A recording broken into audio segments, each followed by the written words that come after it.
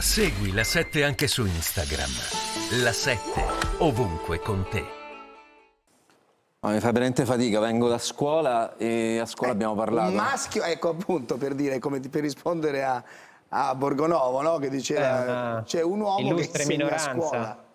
No, insegna- minoranza. Sì, vengo da scuola, alle superiori siamo un po' meno, insomma chiaramente tutto il lavoro di educazione femminile, eh, dai nidi all'elementare è quasi tutto di educazione, quasi tutto femminile, poi man mano che si va avanti, diciamo, tra licei, università e poi fino a essere arrivare agli ordinari, lì invece è un lavoro maschile.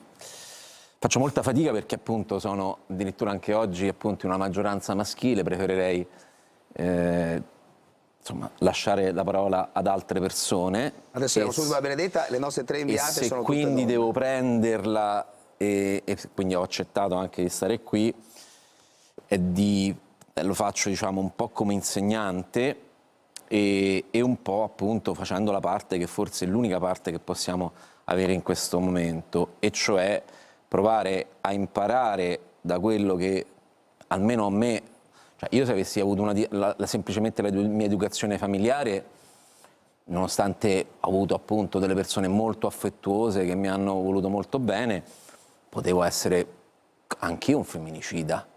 Nel senso, non è che l'educazione familista, paternalista, autoritaria, maschilista, sessista che esiste in Italia, come dire, è solo in certi contesti.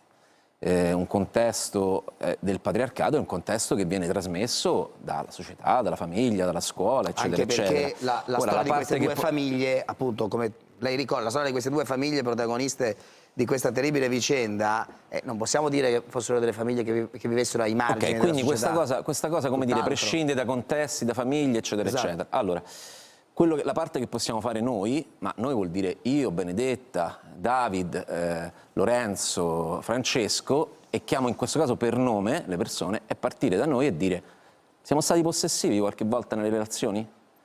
Siamo stati violenti?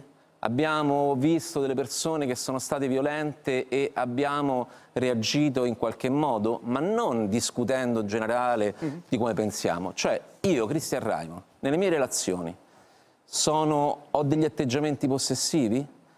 Oggi ho fatto queste domande in classe, ma nelle domande che ho fatto in classe ho detto ci sono anch'io qui, perché non possiamo pensare... tirarsi fuori. Non tirarsi fuori. Questa è una cosa che ci ha insegnato il femminismo. Io qui ho due libri che sono Tutto sull'amore di Belux e La volontà di cambiare.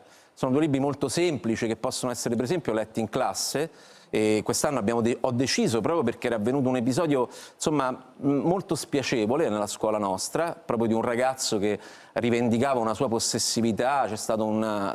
E quindi ho pensato, parliamo dell'amore quest'anno. Facciamo leggere Bellux tutto sull'amore e facciamo leggere il simposio. Proviamo ad avere una prospettiva femminista, una prospettiva appunto da storia della filosofia. Ma, ma io da maschio, bianco, eh, cisgender, eccetera, eccetera, da adulto, così faccio un passo indietro in questo momento e l'unica domanda che mi posso fare è la domanda che ci facciamo tutti.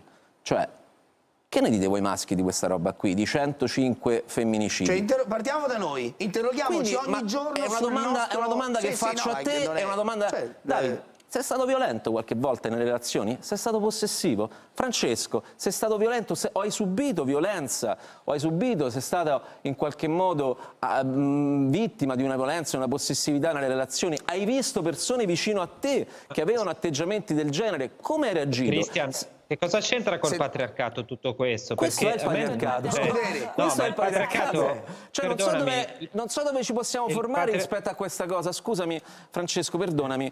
Però co- quando parliamo di qualcosa, io è la cosa che dico ai miei studenti, chiaramente ognuno può avere un'opinione diversa. Certo. Poi ci sono dei concetti che hanno la loro storicità. Se Sì, noi esatto. dobbiamo definire se noi dobbiamo definire che cos'è il patriarcato, chiaramente ci sono degli studi più autorevoli, ci sono degli storici, ci sono delle ehm, appunto Senz'altro. qualcosa che abbiamo definito, altrimenti se noi diciamo che è tutto patriarcato, niente patriarcato, ehm, eh, dobbiamo No, definire sembra- questi concetti. la voce fem- non